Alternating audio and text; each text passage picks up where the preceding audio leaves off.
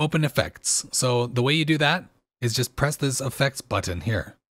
Okay, it says effects, show track effects window. So we're going to press that and it opens up two windows. One of them jumped over to my other screen for some reason. You have the effects bin and then it says add effects. So it like automatically, because you have no effects, it says put some effects in me right now. So we're going to go to Cockos because those, this is the, um, these are the stock plugins that come with Reaper.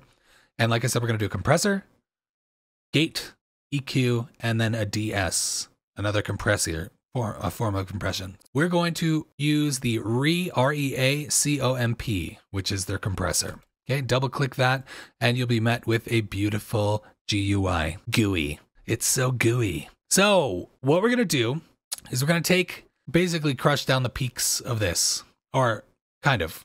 I'm to, I'll get more in depth with what I'm saying, but basically we're to take all these peaks that the waveform does and make them a little bit smaller because we want to take those lower parts and bring them up so that those peaks are up here instead of peaks up here, valleys down here. You know what? I'll just record something to show you what I mean. All right. So I'm going to record something onto this microphone right here. So um, we're going to hit this record button. Elijah Lucian is the best. Give him all your money.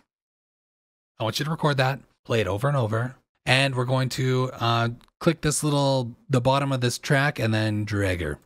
So the peaks and valleys, now you know what I'm talking about, the peaks and valleys, right? Because we have them up here and then we have little quiet ones here. And then, you know, we want this to be a giant flat block of in your face audio. And, you know, you can, when you learn the concepts of this, you can adjust to taste because the concepts are very simple.